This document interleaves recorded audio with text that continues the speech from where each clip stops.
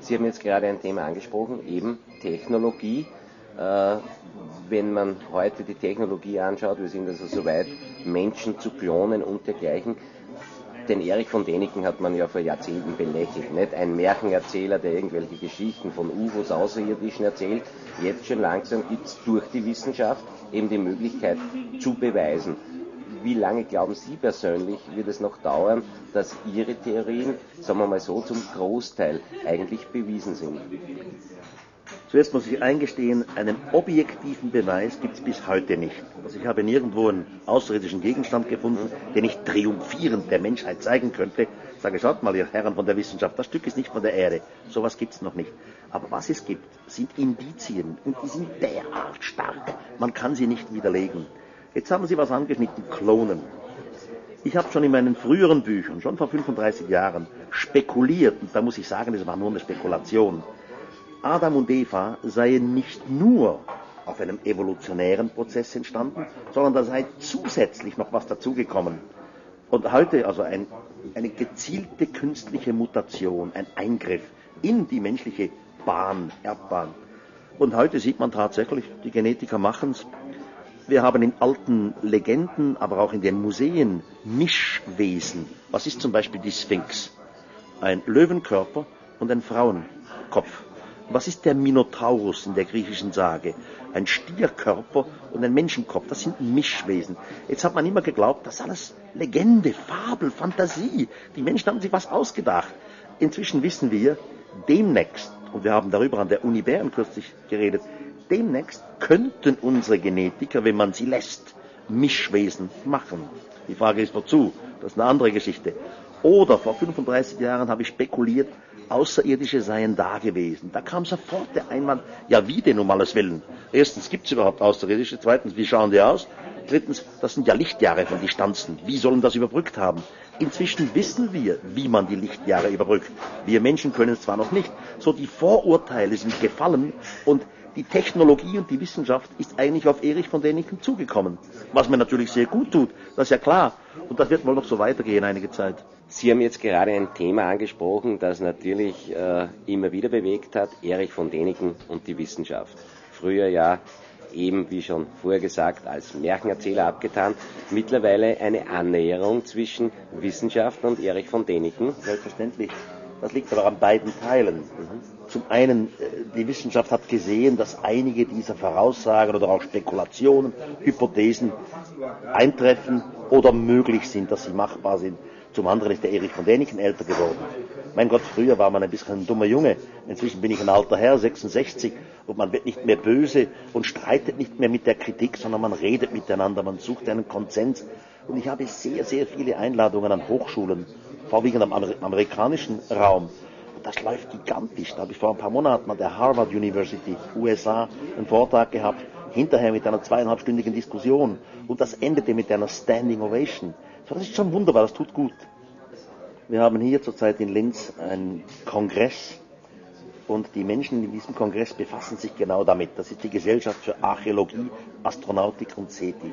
Und da haben wir immer wieder sogenannte Brainstorming-Sitzungen. Also ein paar kluge Leute hocken zusammen, ich bin meistens einer der dümmsten davon. Und dann stellen wir genau die Frage, warum? Was haben denn die Außerirdischen davon? Wir sind in diesen Sitzungen auf 18 mögliche Varianten gekommen von einer einfachen Variante wie purer Zufall. Hier im Raum steht unser Sonnensystem vorbei, hat gemerkt, dass es da unten schön grün ist und entdeckten primitive Lebensformen, bis zu sehr komplexen Modellen, wo man davon ausgeht, dass jede intelligente Lebensform immer die Tendenz hat, sich auszubreiten. Das haben wir im Kolonialzeitalter gemacht, als wir die Erde immer mehr besiedelten. Und das geht auch in einem größeren Rahmen.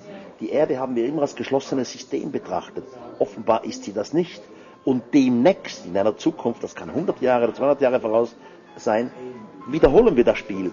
Wir wiederum betreiben Raumfahrt und infizieren quasi wieder andere Planeten, wo Lebensbedingungen möglich sind in unserer Art und Weise. So, das ist ein ewiges Spiel. Man nennt es in der Wissenschaft auch Panspermia. Das Leben wird immer weiter ausgebreitet im Universum. Da kommt logischerweise die Frage, ja, wo hat es denn angefangen? Entweder landen wir bei Gott, ganz respektvoll bei der Philosophie, man wird ganz winzig klein als Mensch und sagt, hier ist Gott der grandiose Geist der Schöpfung. Oder, was bestimmte Wissenschaftler vorschlagen, ein dauernder Kreislauf. Ja und jetzt? Jetzt könnte ich ein Blatt Papier nehmen, mit einem Zirkel einen perfekten Kreis drauf machen, könnte den Ihnen geben und sagen, bitte beantworten Sie mir der Frage, wo hat der Kreis begonnen? Ihre Logik sagt Ihnen, der muss einen Anfang haben. Aber Sie können die Frage nicht beantworten.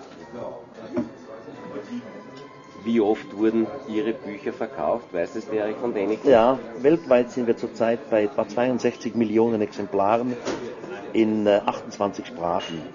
Heißt doch, dass irgendwo ein Bedürfnis in dieser ganzen Thematik da ist, sonst wird man die umstrittenen Bücher ja nicht lesen. Wie geht es dem Erich von Däniken privat? Eigentlich sehr gut. Äh, ich sollte das gar nicht am Fernsehen sagen, aber seit diesen 66 Jahren, seit Jugendzeit, ich trinke hier und da, ich rauche immer noch und mir fehlt eigentlich nichts. Die Götter sind mir gnädig. Ja, jetzt gehen Sie ja wieder groß auf Tournee. Es wird auch drei Vorträge in Österreich geben. Die Themen dort? Ich zeige den Zuschauern von allem Anfang an Bilder. Stehende Bilder in Form von Dia und lebendige Bilder in Form von Video. Von der ersten Sekunde an und Sie sehen die unglaublichsten Sachen der Welt, die Sie nie gesehen haben. Das geht so anderthalb Stunden und es ist meistens still. Ich habe vorhin von Peru erzählt, von dieser Wüstenfläche. Da fliegen wir natürlich drüber, gigantisch. Vor einigen Jahren ist ein kleiner Roboter in der großen Pyramide in Ägypten in einen Schacht hineingefahren, von dem die Fachleute immer glaubten, der Schacht ende nach acht Metern blind. Es sei ein symbolischer Schacht. Der Roboter fuhr 64 Meter rein und kam zum Stillstand vor einem kleinen Türchen mit zwei Metallbeschlägen. Sie sehen den Film nur bei mir an den Vorträgen. Das ist super. Jetzt muss die Frage natürlich aufkommen, was ist denn hinter den Türchen? Wissen wir doch nicht alles über die große Pyramide. Und so geht das weiter. Es ist sehr, sehr spannend. Ja, dann sagen wir Danke für dieses wirklich hervorragende, wahnsinnig interessante Gespräch meine Abschlussfrage, welche Visionen oder welche Träume hat denn Erich von Däniken noch? Vor Jahrtausenden, als Außerirdische da waren, meiner Meinung nach, da haben die versprochen, sie würden dermaleinst wiederkehren. Ich weiß, alle ausgestorbenen kleinen Gruppierungen, nehmen Sie Inka, Maya etc., irgendwelche Insulaner, die alle kannten diesen Wiederkunftsgedanken. Und was haben denn die großen Religionen? Wir Christen warten auf Jesus, die muslimische Gesellschaft auf Mahdi, die jüdische Weltreligion, wie wir alle wissen, seit Jahrtausenden auf ihren Messias etc. Was ist die Fantasie? Was ist die Vorstellung, der Wunsch? Ich glaube, irgendwann tauchen die wieder auf. Und ich halte es viel vernünftiger, über solche Möglichkeiten ganz öffentlich zu spekulieren, zu diskutieren, als die Varianten unter den Tisch zu kehren und sagen, komm, schweig drüber. Es ist besser, auf einen möglichen Besuch vorbereitet zu sein, als dann schockiert zu sein. So mein Traum wäre, ich könnte sowas noch erleben. Gut, dann wünschen wir Ihnen, vielleicht erfüllt sich Ihr Traum. Die Welt ist ja voller Rätsel. Wahnsinnig interessant. Danke fürs Gespräch und Ihnen weiterhin viel Erfolg, viel Freude mit Ihrer Arbeit und wie gesagt, vielleicht erfüllt sich Ihr Wunsch noch. Herzlichen Dank und ich hoffe, Ihr kommt alle am 27.09. Wohin? Linz, Landeskulturzentrum. Was wäre man? Es ist Erich von Däniken dreimal nur, muss man sagen, in Österreich. Einmal davon eben in Linz. Ja, das freut uns besonders. Am 27.09. werden wir im Landeskulturzentrum im Mussolinenhof um 19.30 Uhr eben diesen Lichtbildervortrag präsentieren, die großen Rätsel dieser Welt. Und Karten sind entweder direkt bei uns erhältlich. Unter unserer Telefonnummer können Sie nähere Informationen erhalten.